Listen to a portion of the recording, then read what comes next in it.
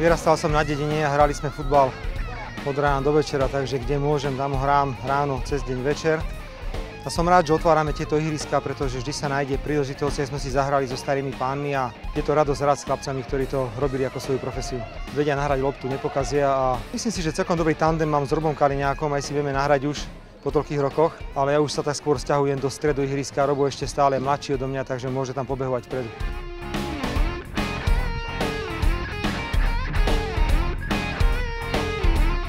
Niekedy to vychádza tak, že hráme po večeroch, e, keď máme takto kampaň aj každý večer a inokedy sa v futbalu nedostaneme 3 mesiace. Záleží od toho, aká je doba, čo sa deje. Ale kľudne, keby niekto chcel hrať futbal, môže mi zabúchať ráno o tretej na dvere a určite nepokazím partiu.